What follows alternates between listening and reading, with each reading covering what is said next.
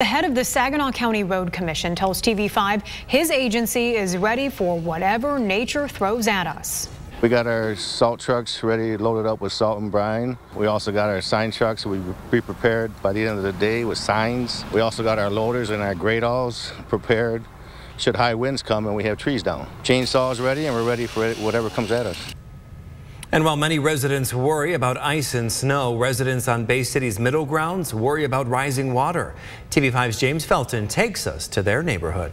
I've been through it before, so it's nothing new this is one of the prices that you have to pay, I guess, for living on the river. Don Dennison lives in an area of Bay City known as the Middle Grounds. Looking high above from our TV5 drone, you can see Evergreen Drive sandwiched by water. Water that tends to rise here after a heavy rain and strong northeast winds. Conditions our First Warn 5 forecast is calling for this weekend. Hopefully it uh, doesn't get into the yard and into the basement but if it does, I'll have to deal with it. Residents in the middle grounds aren't the only ones who are worried about this storm it's amazing how many inches of rain equates to so many gallons of water into our, our lakes and our rivers, and that's that's the concerning part for us. City Manager Dana Muscat is urging residents to check their storm drains and clear them of debris and leaves. It'll free up some of the standing water in the roads and maybe push it away from their homes. Muscat anticipates closures to roads, sidewalks, and parking areas near the Saginaw River. She doesn't want people driving or walking around the barricades. It's a dangerous dangerous situation. Obviously, you can get caught up in the currents that are coming off the river, and